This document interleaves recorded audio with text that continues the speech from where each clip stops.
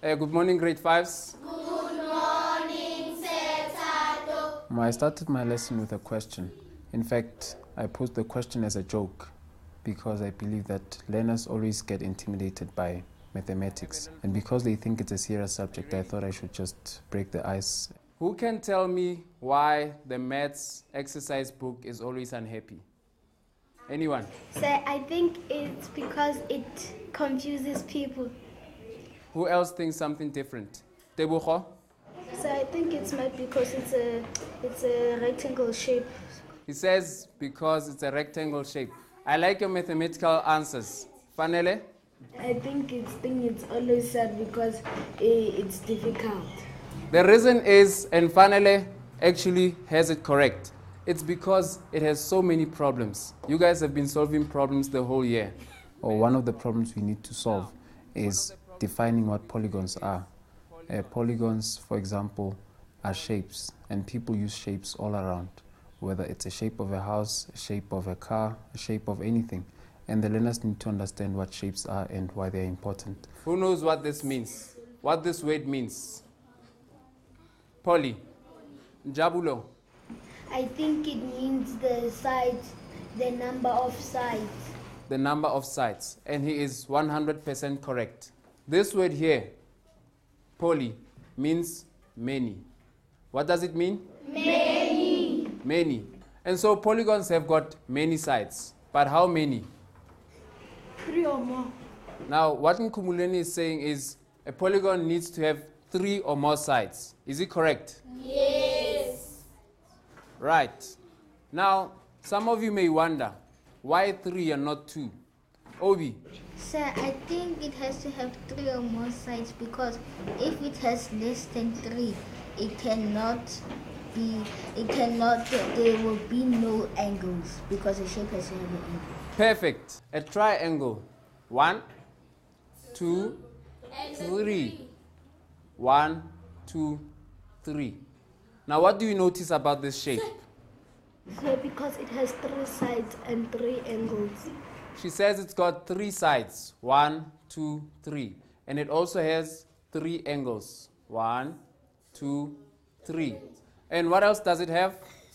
So some, some triangles have equal sides. For example, a, a equilateral triangle has equal sides and and the scalene and the isosceles triangle don't have equal sides. Hey, that's a very good answer. We said it has one, two, three sides.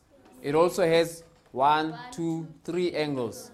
The other thing it has is one, two, three. These corners have a name. Who knows the name of those corners? They are vertices. Wow, Clara, let's clap hands for her. So I went from defining it together with the learners to actually giving examples of polygons in real life. Five sided shape. A pentagon is a five-sided shape. Hex means six. Hex means six. Hept means seven.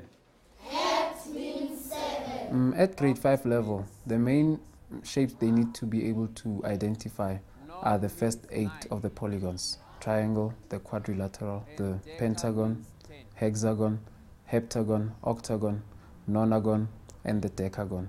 They are named after the amount of sides that they have. And that's why pentagon is an example of a polygon because it has five sides. Mm, I went on to give examples of polygons in real life, and the learners assisted me in this because it is through them giving me the, the answers that I'm able to direct their thinking. Is this a polygon? No. I need two hands to tell me why it's not a polygon. Muzi, Because the shape it curves. It there is a curve. Can you have a curve on a polygon? No. You cannot have curves on a polygon. The reason is curves, like a circle, do not have angles. If you can't have angles, you can't have polygons. Now let's look at. I focused on teaching them three ways of defining polygons, on based on the number of corners or vertices, the number of sides, the number of angles. Some learners are able to understand what angles are better than they can understand what sides are. But if I had to do this, the same car, everyone gets a chance to at least master one of the aspects. So they have a chance to master one of three. Would you consider this a polygon? Yes. Yes, perfect. Because there are no curves, only angles, sides, and vertices. Some of them are able to master all of them.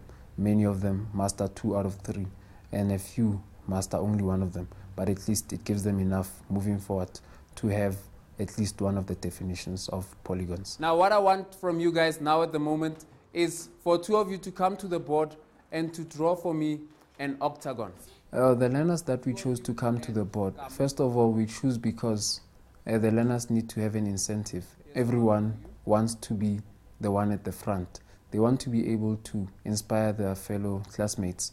And we chose them because we wanted to give the opportunity to those learners because they may have lacked some confidence in the previous lessons. And so we wanted to encourage them and empower them. And secondly, we chose them because they prefer doing things on the board or in their books. And so these are the kinds of learners you'll find busy when the, the lesson is, is taking place, writing on their scrapbooks or things like that. And to prevent that, we allow them to do it for the rest of the class on the board. Let's look at what these two shapes have got. We have one, two, three, four, five, six, seven, eight sides. I focused mainly on them mastering the definition and not on covering a whole list of objectives. So the main lesson was for them to master the definition, say it out in words, and then write it out in their books so that they're able to explain it to someone who's younger than them or doesn't understand it the same way as they do. And this gives them the, the confidence to go out in the world and be able to express their knowledge because knowledge does not need to end in the classroom.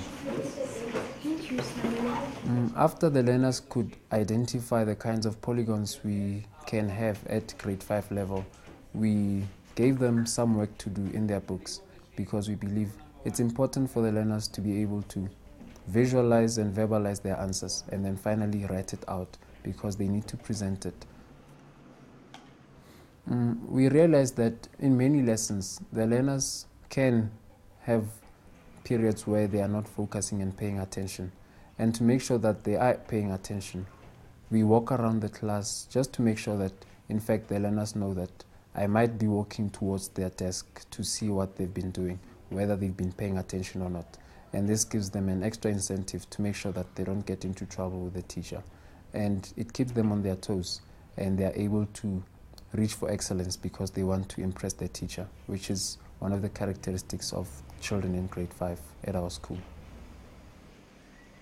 Mm, when we do our corrections, we don't do it just because the learners need to have it as evidence in their books. We do it because some learners may not have been able to understand the concepts in the initial phase of the lesson. We give them this opportunity to relearn the skills and relearn what their peers actually believe and what they think. And we teach further based on, on the fact that we see the parts that they've struggled in and we can focus more on those. And so we use it not, not only to get their marks, but to assess the levels of their understanding. What would you say a heptagon is to someone who doesn't know? A heptagon is a, a that uh, a, a shape that has seven sides and seven angles. There is a method of teaching that allows children to be the contributors in the lesson itself. It's called peer education. The learners seem to listen to one another better than they do to teachers, and we are not intimidated by this. In fact, we encourage it. A lesson must have learners speaking more than the teachers, and we allow them to speak to one another while the teacher directs their thinking and directs them by asking the right questions. Learners are able to respond and have a competitive spirit in which they want to do better than the next learner, but without intimidating one another because they know that they belong to the same group.